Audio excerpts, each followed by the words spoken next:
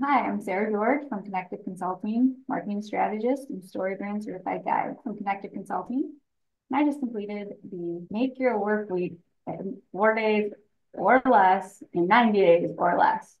And I have to say, when I first heard about the program, I didn't think I needed it because I thought I have control of my schedule. I, um, I, I'm not working five days a week. I don't have full time.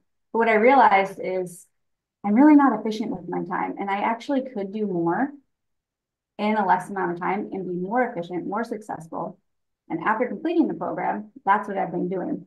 Not only am I down to four days a week, sometimes it's three or three and a half. I'm not only running a business, I'm a busy mom, got two children that keep me on the go. So to be able to schedule time for their things, their activities, maintain a house, do their grocery shopping, and still build a successful business is really important to me. So there's one of them. Um, but the program um, included a lot of tactics and strategies that I wasn't using, and they're, they're easy to implement into business. So by leveraging those, I was able to save at least eight hours a week.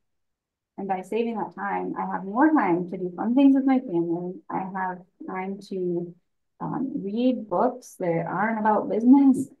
I have time to um, go to the places that I enjoy going to. And also I can keep my house a little bit cleaner, which I was really struggling to do that. Um, and that is a priority for me. So having time back is very rewarding. And I look forward to um, what I'm going to be able to accomplish in a shorter amount of time.